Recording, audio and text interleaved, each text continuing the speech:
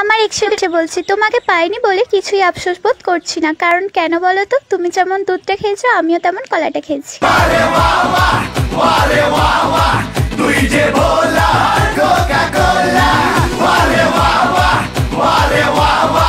তুই যে